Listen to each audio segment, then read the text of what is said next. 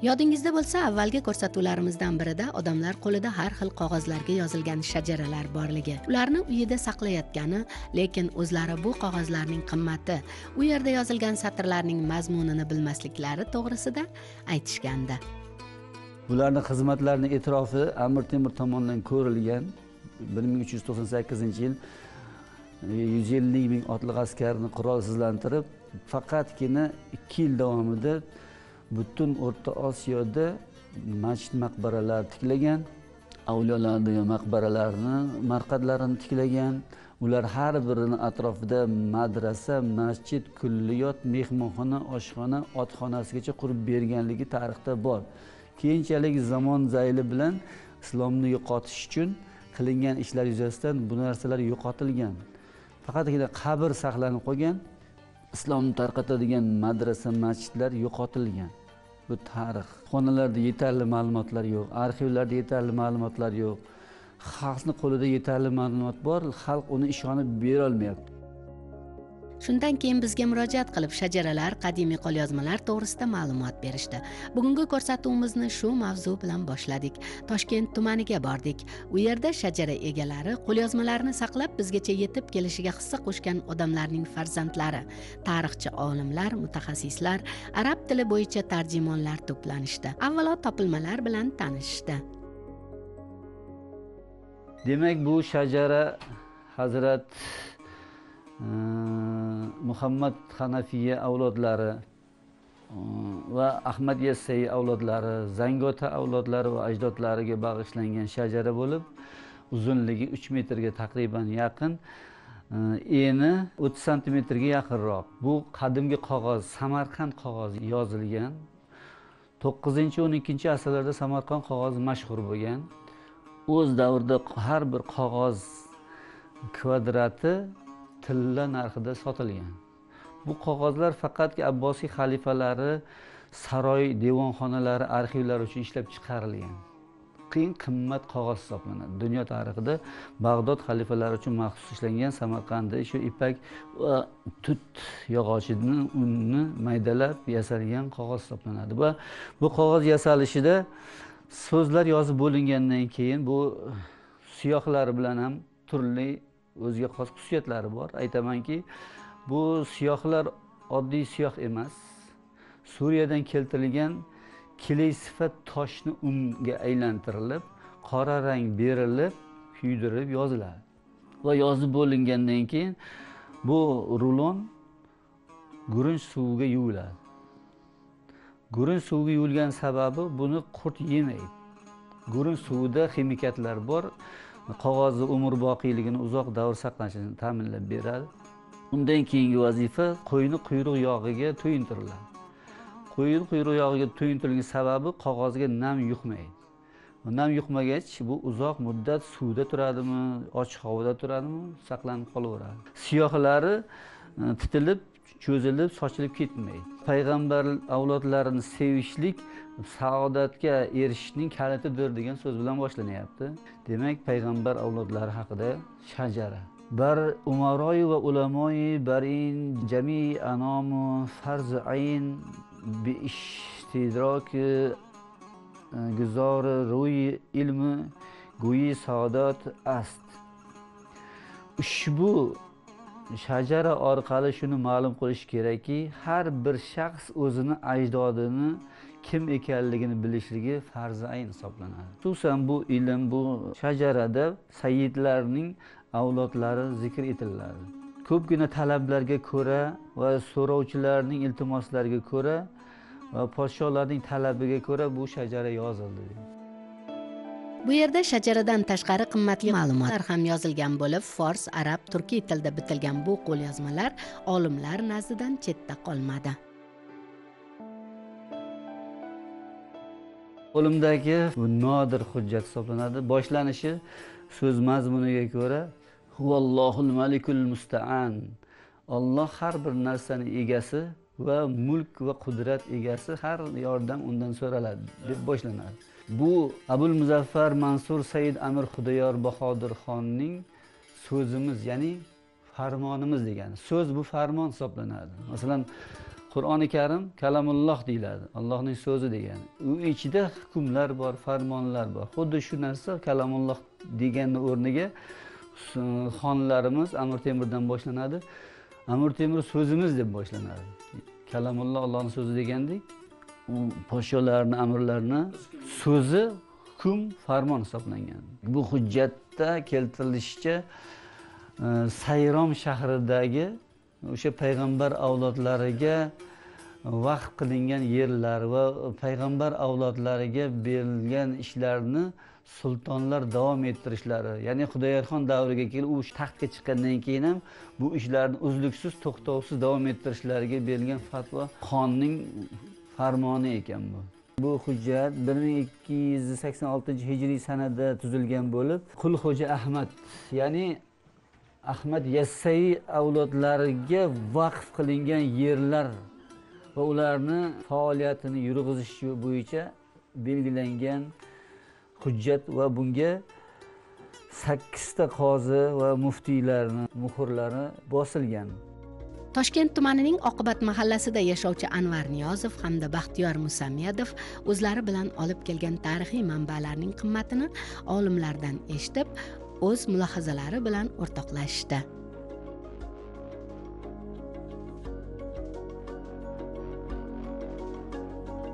Shunday bir holat bo'ldiki demak bu qoraxoniylar avlodiga mansub bir shajarani bilan to'qnashishimizga to'g'ri keldi.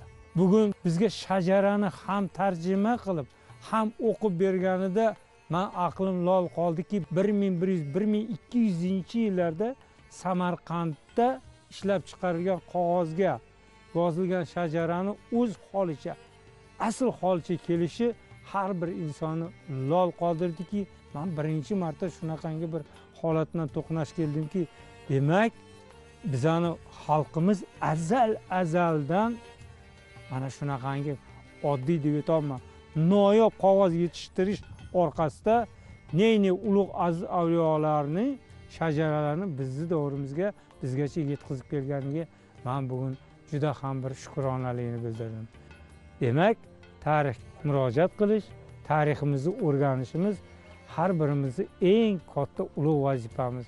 Chunki o'tmishni bilmasdan tariximizni bilmasdan turib ertangi kunimizni qanday tushunishib yetishimiz mumkin?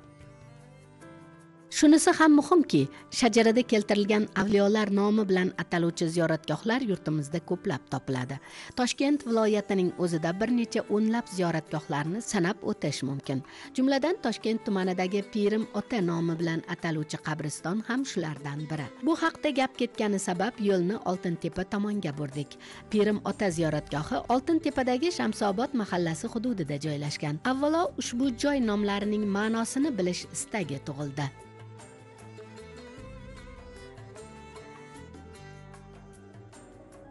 Toshkent shahrida ikkita oltin tepa degan joy mavjud. Uchinchisi afg'onistonda. Oltin tepa degan nima?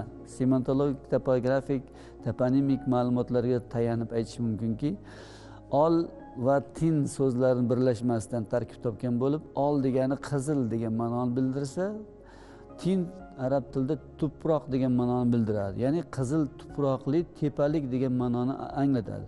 Biz o'ylagan oltin bu qimmatbaho metal emas. Aksincha qizil tuproqli tepalik degan ma'noni anglatadi. Aslida qimmatbaho metal sariq rangdagi oltin tangamizni asli nomi oltun tun bilan nomlanadi. Bu qimmatbaho metal hisoblanadi. Bu yerdagi oltin tepa bu qizil unumdor serhosil tuproq tepaligi degan ma'noni bildiradi. Oltin tepa deb nomlanishini o'zini tarixi bor. Bu oltin tepa deb o'rganib ketishgan. Lekin tarixiy manbalarda masalan amir temur davrlarida boshqalarda bu oldi tepa nomi bilan e, nomlangan. Oldi tepa nomi bilan nomlanishi bu masalan mana shu tomondan baland tepalik bor. U tepalikda yog'iylar kelishida o'sha yerda o'tin yoqib tutatib dushmanlar kelishi yo karvonlar kelishidan xabar berilgan. Bizdan keyin beltepa beltepadan keyin oqtepa oqtepadan keyin chig'atoy bo'lib mana shunaqa qilib toshkent qalasiga kirib borish jarayoni deb bilaman.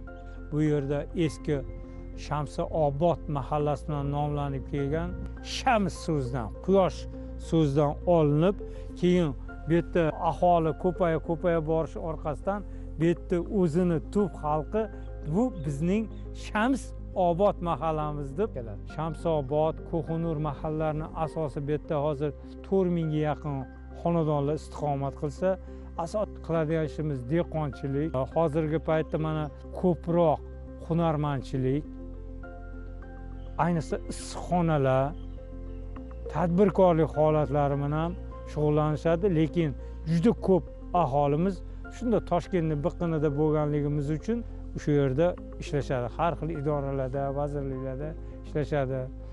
Oliy o'quv yurtlarida dars berishadi olimlarimiz. Pirim ota to'g'risida turli rivoyatlar hikoyatlar mavjud. Ular tildan tilga o'tib bizgacha yetib kelgan. Pirim otamiz bir yuz yetti yoshga kirganlar qur'onni yoddan bilganlar juda ilmli odamlar bo'lganlar. Bu odamlarni mana onalarimiz gapirib berishgan ko'p juda mo'jiza ko'rsatishgan bular. Bular asli tegis sayromdan kelganlar bular qabrlari shu yerda mana bularni yettita bolalari bo'lgan. U yerdan bu yerga qochib kelib kelib keyin kelayotganda yo'lda ko'prik bor ekan katta ko'prik. Shu ko'prikdan o'tishayotganda to'polni shundoq olib turib tufib bu ko'prikdan haligi kelayotgan otliqlar orqaga qaytib ketishgan ular usha olgan. Keyin bu yoqqa ko'chib kelishgan. Yani toshkentga kelganlarida bularni eshitib katta e, masjidga chaqirishganda bular borganlarda gapirib bering kim tegiz qanaqa deganda tushunchalardan sajarani olganlar. Sajarani olib turib berganlar. Deb bular ko'pchilik o'tirishgan katta katta ilmli odamlar eng anaqa qozilar. Sajarani olib turib bundoq ko'rishganda bundoq bundoq ko'rib turib iya to'xtanglar deyishgan. Siz joyingiz mana bu to'rda ekan deb to'rga olib chiqishgan. Keyin sirdaryoga borishganda bunida pirli kuchini ko'rsatish degan. Bu kimgadir balkim erta daryoga qarab turib qur'on suralarini o'qib o'qib o'qib anaqilarda daryo turgan joyini orqaga qarab oqqan shundan keyin bularga pir ota deb nom berishgan bularga bu yerda mahallaviy mo'jizalardan e, masalan bitta turishganda bir odamni otini o'g'irlab ketishadi qozog'iston tomonga qarab bu orqada katta judayam katta bedazorlar bo'lgan ekinzorlar bo'lgan. Ketishganda yugurib ketishganda bittasi chop kirib otaga chop deyishganda borib pirim ota pirim otimizni o'g'irlab ketishdi. Mana shunaqa tomonga qaysi tomonga ketdi? Mana bu tomonga ketdi deyishgan qozog'iston tomonga ketdi deganda bor uyingga bor hozir qaytib kel oting deb o'sha yoqqa qarab turib o'sha qochib ketgan ustiga ot ot qochib ketayotgan odamni yiqitib uyga qaytib kelgan bu. Qur'onni surani oyatlaridan qanaqa narsa olishni qanaqa ishlatishni bilganlar bular yaxshi niyat qilsalaring shu narsa ish beradi. Nima niyat qilganlaringga qarab deb yetib ketgan ekanlarda mana misol ot minib ketar ekanlarda misol uchun mana sariag'ochga borishlari kerak. O'zidan o'zi oyna taqillar ekan taq taq taq qilar ekan o'zidan o'zi. Yoki eshik taqillar ekan. Bundoq qarasa hech kim bo'lmasa manga qara samovarni qo'y darrov eshon buva kelyaptilar deyishar ekan. Haligi yoqqa yetib bormasdan otda bo'lsa yetib bormasdan bu narsalar ayon bo'lib turar ekan o'sha yerga shu oilaga. O'tmishga nazar tashlab ish qilmoq xayrli deb ulug' shoirlarimiz o'z asarlarida aytadilar hazrati ali karramallohu vajha fotima onamiz roziyallohu anho bilan judayam baxtli umr kechiradilar. Ba'zi bir manbalarda keltirilishicha o'sha davrda e, yana boshqa bir ayolga uylanmoqchi bo'lib rasululloh sollallohu alayhi vasallamga maslahat so'raganlarida yo'q degan ekanlar. Keyin fotima onamiz roziyallohu anho vafotlaridan keyin aynan hazrati ali karramallohu vajha ikkinchi ayolga uylanadilar va mana shu ikkinchi ayollarning farzandlari bugun biz o'rganib turgan buyuk zot muhammad hanafiy hisoblanadilar haqiqatda ham yetuk ulamolardan muhammad hanafiy hazrati ali karramallohu vajhani ikkinchi ayollardan bo'lgan bosh farzandlarining avlodlari. Aynan mana shu biz turgan qabristonga dafn qilinganlar ismlari pirim ota bo'ladilar o'tmish ulug'larimizni hayotlari biz uchun doimo saboqdir. Kitoblarimizda keltiriladiki muhammad hanafiy onani hurmat qilishda otani hurmat qilishlikda butun insoniyatga o'rnak bo'lgan ekanlar. Doimo namozda qandoq o'tirsalar ota onalarini oldilarida ham xuddi shundoq yerga qarab o'tirar ekanlar. Perim ota qabristoni tepalikda joylashgani uchun bu yerda havo nisbatan sovuq. Qadamjoni obodonlashtirishga e'tibor qaratilgani yo'laklar o'rindiqlar daraxtlar qarovsiz qolmagani sezilib turibdi. Ayniqsa qabristonga kiraverishdagi masjid va hovli oltin tepaliklarning nozik didini mahoratini namoyon etayotgandek.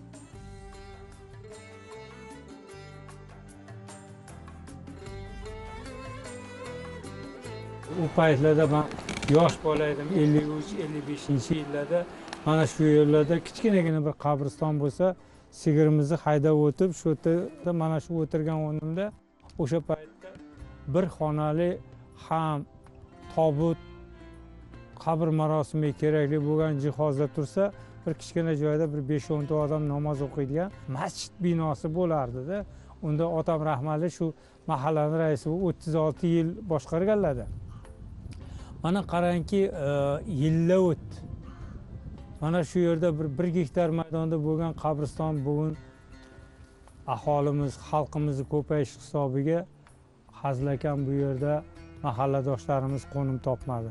Hammalarini alloh rahmat qilsin. Topilmalar bilan tanishib endi qoraxoniylar to'g'risida to'liqroq ma'lumot berish o'rinli bo'lar deya olimlarni suhbatga jalb etdik. Endi bularni tarixiga bir nazar solsak ajdodlarimizdan qolgan meros bor. Bitiklarda tabarruk yumushlarini alloh taolo tabarruk insonlarga berar ekan ularni sa'y harakatlari bilan ularni shijoatlari bilan zakovatlari bilan qilingan yumushlar alloh taoloni marhamatiga yetar ekan o'z otasini eslash yetti otasini tanish bilan teng deyilgan shunaqangi roviylarni so'zlari bor. Alixon to'ra sog'uniy shunday degan ekanlar.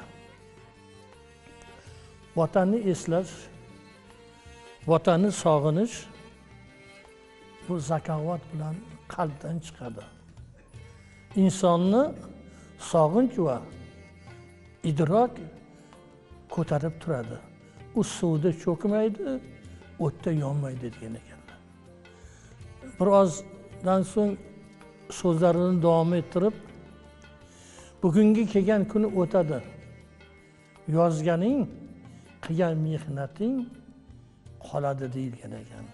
Mana shu yozilgan qilingan mehnatlar bu bizani ajdodlarimizni bizdan o'tib ketgan ulug' insonlarni ruhlarini shod etdi. Ularni ruhlari bugun bizani atrofimizda. Qoraxoniylar sultonlik hukmini bajargan. Payg'ambarimiz muhammad sallallohu alayhi vasallamni kuyovlari hazrati aliga bo'lib taqaladi. Muhammad imom muhammad hanifa hazrati ali bilan hanifani farzandi. Bugungi kundagi biza o'sha qoraxoniy sultonlar haqida gap ketayotganimiz ana xuddi shular ham o'sha imom muhammad hanifaga borib taqaladi. O'shani avlodlari. Ularni avlodlari abdul fattoh abdul mannondan ikki o'g'il dunyoga keladi. Bittasi abdurahmon ikkinchisi abdurahim. Qoraxoniylar ana shu abdurahimni farzandlari. Qozog'iston respublikasidagi sayramdagi turkistondagi hazrati o'sha e, abdulmannon yamaniylardan keyingi avlodlar bu qoraxoniylar avlodi bo'ladi. E, Ishoq bob abdujalil bob qoraxonlar e, yorkentga boradi. Yorkentga borib u yerda o'zlarini faoliyatlarni yuritadi islom dinini targ'ib qilishga islom ma'rifatini yoyishda juda keng ishlarni amalga oshirishgan. E, yana bir narsa borki saida avliyon degan bir tushuncha bor. Aynan saida avliyon tushunchasi ham e, qoraxoniylardan qolgan tushuncha deyiladi. Ya'ni saidlar ham uchga bo'lishadi. E, Muhammad sollallohu alayhi vasallamdan qolgan avlodlarni saidlar yo'nalishi hazrati alidan qolgan avlodlar saidlar yo'nalishi va uchinchisini keyinchalik bu paydo bo'ldi. Ya'ni xo'ja ahmad yassaviy avlodlari tomonidan qolganlarga ham saidlar tushunchasi ishlatilishi e, bu tabiiy hol edi. Ba'zilar aytadi tarixiy dalillarga xatoliklarga yo'l qo'yishadi.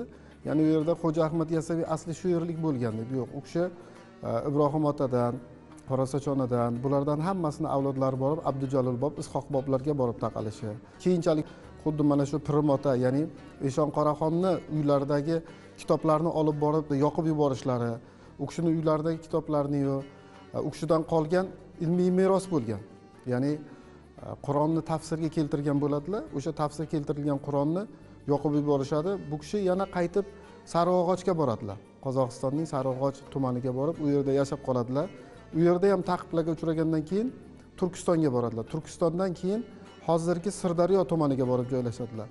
Sirdaryo tumanida ham o'sha davrdagi ko'rolmaslar oqibatida toshkent shahriga kelib joylashadilar. Toshkent shahridan keyin u kishi hozirgi mana shu biz turgan joydagi shamsobod mahallasiga kelib joylashib bir ming to'qqiz yuz ellik to'qqizinchi yilgacha umrlarini oxirigacha shu yerda yashab qoladilar va bu yerdagi qabriston e, toshkent tumani hokimiyatini ruxsati bilan pirimota qabristoni deb E, nomlanadi. Qoraxoniylar avlodidan bugungi kungacha saqlangan e, muhr ushbu shamsobod mahallasidagi avlodlarda saqlanadi.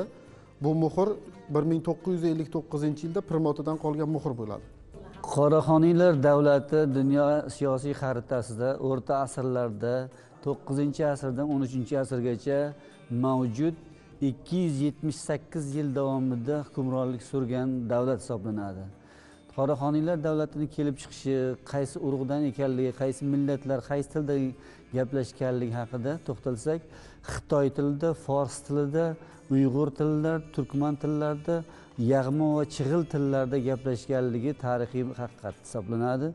Bu xalqlar shimolda balxash ko'lidan shimoli g'arbda orol dengizlarigacha bo'lgan hududlarda va janubda afg'oniston qobul g'aznaviylar bilan chegarada va shimoli sharq tomonda Э, qirg'iz xoqonligi bilan chegaradosh va э, janubiy sharqiy tomonlarda esa hindiston pomir tianshan tog'larida va tibet tog'lariga yaqin xitoyga chegaradosh hududlarni egallagan bular poytaxti avval balosog'un uyg'uristonda keyin qoshg'arda sakkiz yuz qirqinchi yillarda to'qqiz yuz o'ttiz to'rtinchi yillarda e, samarqandda toshkentda poytaxtlari mavjud bo'lgan.